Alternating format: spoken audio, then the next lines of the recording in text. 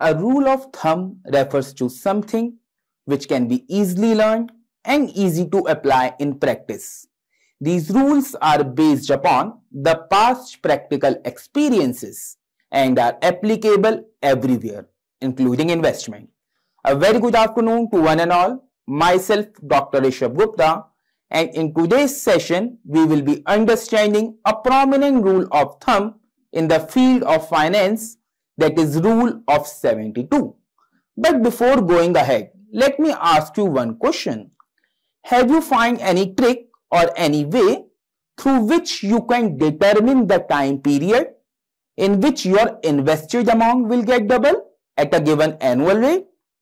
A bit confused? So let's find out the solution to it. So the rule of 72 came up in the late 15th century by the Italian and the Franciscan mathematician. This rule of 72 explains the time period in which your invested amount will get double at a given annual rate of return. To put it into the formula, this rule comes out to be years to double is equals to 72 divided by expected rate of return. Let us take one numerical example to understand this formula in a better way. Let us assume the expected rate of return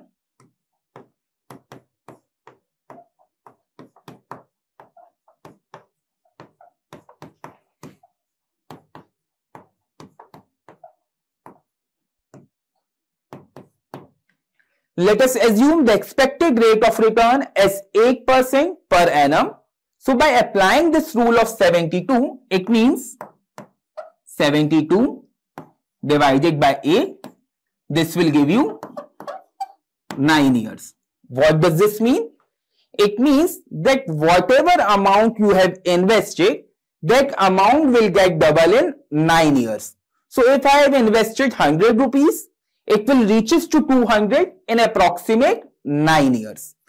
Now, alternatively, this rule, now this rule of 72 can also helps you to estimate the expected rate of return which you expect from your investment by dividing 72 by the number of years in which you wish to double your money.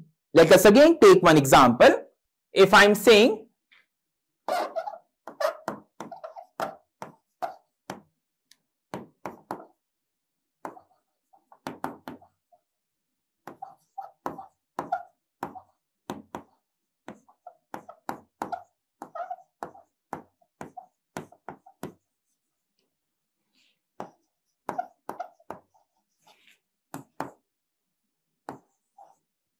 if I'm saying that the number of years in which you wish to double your money is 8 years, which means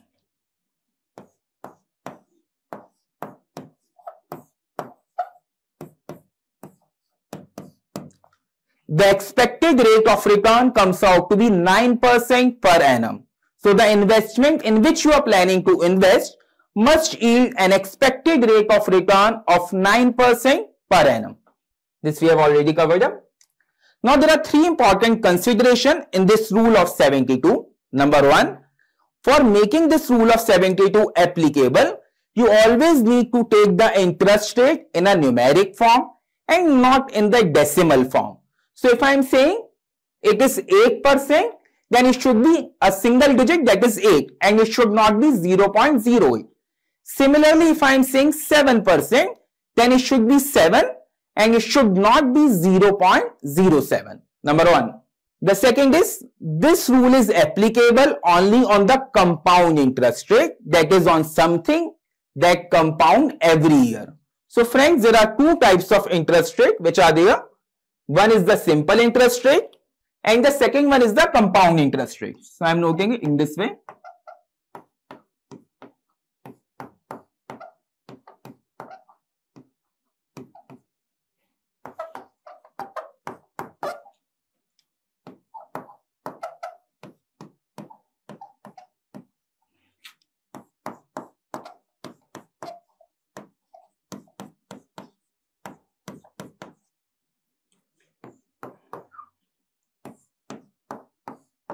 This is your case 1, case 1 of simple interest rate. Let us say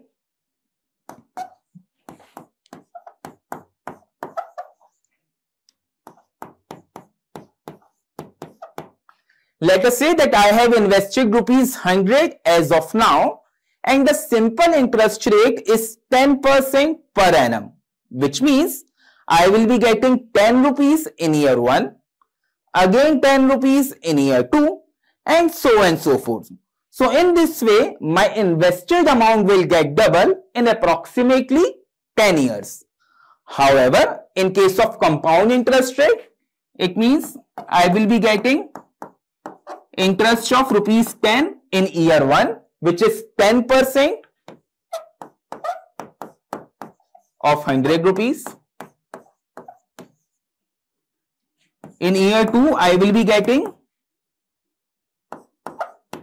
10% of 90 rupees. That is 100 rupees minus the interest which is 90 10% of 90 is 9 rupees.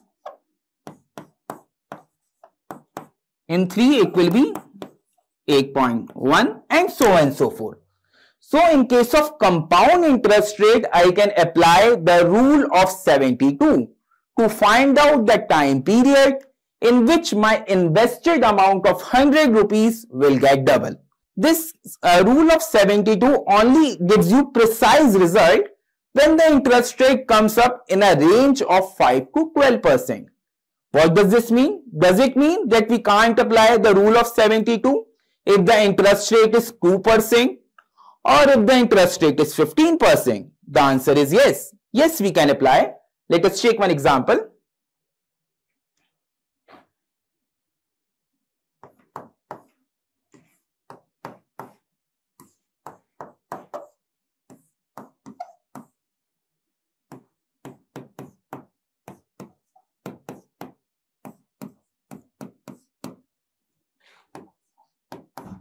So I have told you this rule of 72 is applicable in a specific range of 5 to 12 percent which means your results will be more precise when the interest rate falls in this range. However, if I am taking the interest rate of 2 percent then instead of applying this rule of 72 I can apply a rule of 71. It means for every 3 percent decline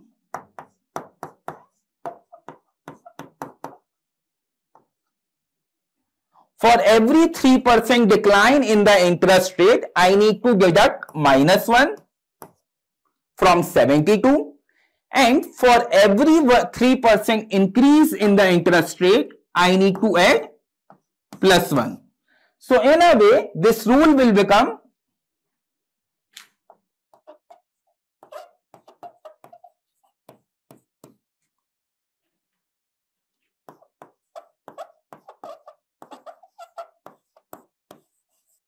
rule of 71 in case the interest rate is 2% and in case the interest rate is 15% it will be 72 plus 1 that is 73. Now the question arises that how this figure 72 arise. Now there is a simple logic.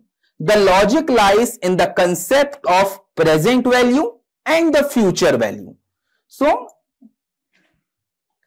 there is a famous formula for understanding the relationship between the future value and the present value.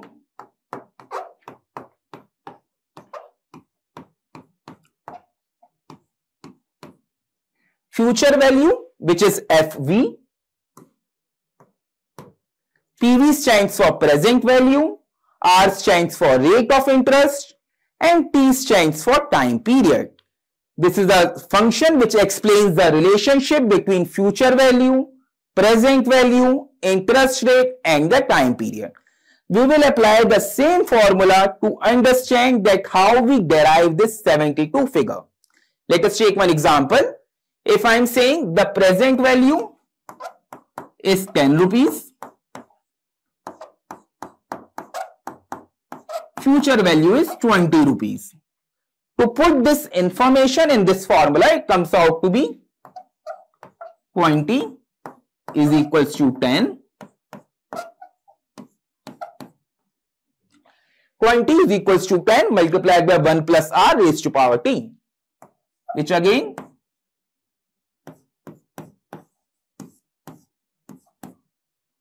This is the final equation. Now we will take logarithm on both the side.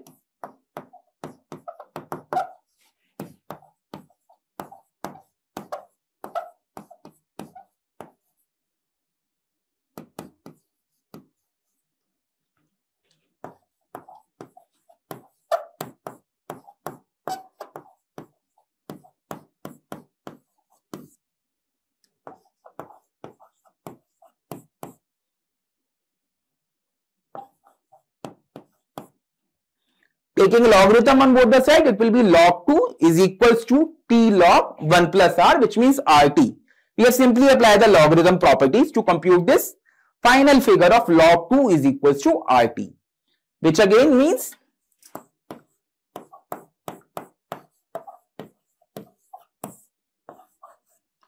time period is equals to log 2 divided by r. Now the natural logarithm value of log 2 is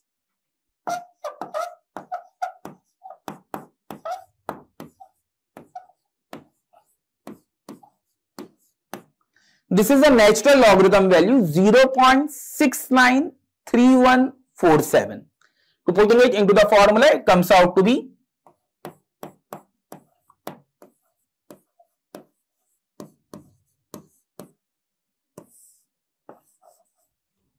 This is the final derivation. Now, you can convert it into the integer form which is 69.31 divided by r. Now, one of the prominent question which may strike in your mind that why we are using this 72 figure, why not we use 69.31? The answer is very much simple. There are two major reasons. Number one, the value of 69.31 is difficult to remember in comparison to 72.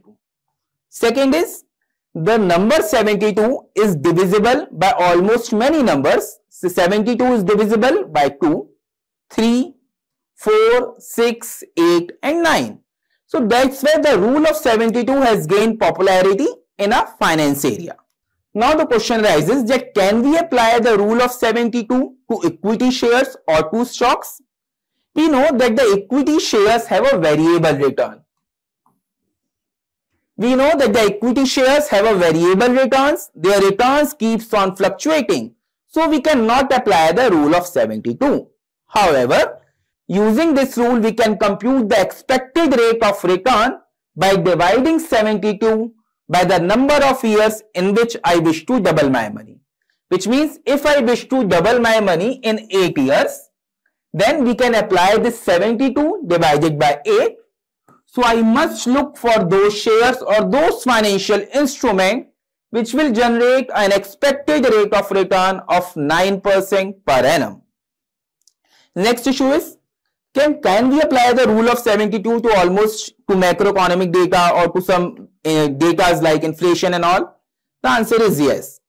Rule of 72 have various application. So we can apply for the population if I'm saying that my population is growing, if I'm saying my population is growing at a rate of 3% per annum, which means 3% compounded annually, which means 72 divided by 3, that is 24 years. So if my population is growing at a rate of 3% per annum, it will get double up in approximately 24 years. Similarly, if I am saying that the inflation is growing at a rate of 3% per annum, which means the current purchasing power of your money will get half in almost 24 years. So these are the application of this rule of 72, which we can apply in various macroeconomic data in terms for inflation, for population. So if a mutual fund is charging an annual expenses of 3%, it means that your principal amount will get half in almost 24 years. So this is the important application of rule of 72 and that's all. We'll meet you in my next session. Have a nice day.